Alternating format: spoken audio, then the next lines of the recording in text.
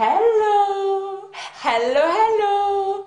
Aujourd'hui, nous allons partir au pays des contes, les contes de Poulette.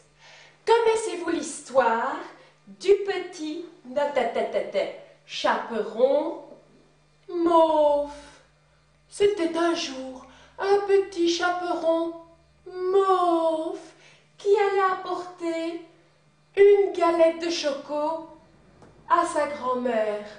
Grand-mère, grand-mère, toc toc, j'ai une galette de choco. Oui, dit grand-mère, mais tu n'as pas l'air bien, toi. Non, dit chaperon mauve, je ne suis pas bien, je suis fatiguée.